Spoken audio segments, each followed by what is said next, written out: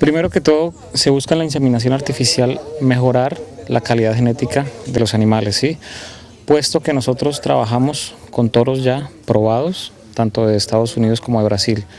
Toros que nos garantizan eh, que las crías nos van a producir cierto más libras de leche o ciertos más kilos en carne. Eso buscamos con la inseminación artificial, tratar de disminuir enfermedades reproductivas también que puede traer el toro. Eso disminuimos con, con, con la inseminación artificial. Mejorar la especie, además mejorar la parte productiva. La parte productiva, obviamente, porque como le digo, son toros completamente probados que ya vienen con la garantía qué nos pueden dar o qué no nos pueden dar esos, esos toros, qué podemos esperar. ¿Qué tan fácil o complejo puede ser un proceso como este? Es muy fácil, es, es muy fácil, teniendo la, haciendo las técnicas, teniendo las buenas técnicas, es, es muy fácil. Eh, yo creo que el éxito de la inseminación artificial está en el manejo del semen, ¿sí? Cómo manejemos nosotros nuestro semen. Yo digo siempre, si tenemos la vaca en óptimas condiciones para inseminar, tenemos un buen semen, ¿sí? Lo que queda en nuestras manos, hagámoslo lo mejor posible, que es el descongelamiento del semen. ¿Cualquier ganadero puede hacer un proceso como estos?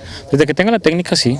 No hay necesidad de ser zootecnista, ser veterinario, no hay necesidad de tener ninguna profesión para inseminar. Inseminar es, es un arte que yo digo es, es ver con las manos, hasta un ciego lo puede hacer, porque usted no necesita ver nada. Por eso lo importante de estas capacitaciones. Sí, claro que sí. Es más fácil eh, dentro de las transferencias eh, de biotecnología, ¿sí? tenemos eh, la fertilización in vitro, tenemos las transferencias de embriones, ¿sí? pero para mí eh, yo creo que la genética la podemos mejorar más fácilmente con la inseminación artificial, porque es más fácil capacitar a un inseminador que una persona que transfiere embriones. Por eso la importancia que tiene que el Comité de Ganaderos de Purificación Sur Oriente del Departamento eh, le dé cumplimiento a este tipo de procesos capacitando a los afiliados. Claro que sí, y la idea, día, la idea es cada día captar más personas, ¿sí?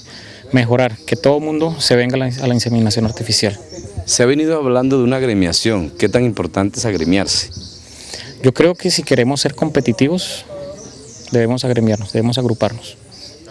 Esta es una buena iniciativa, lo que se ha hecho hoy, se ha hablado de agremiación, pero se ha aprovechado el tiempo para dictar una charla sobre inseminación artificial. Claro que sí, todo lo que sea tecnología, bienvenido. Entre más técnicos seamos, más competitivos somos.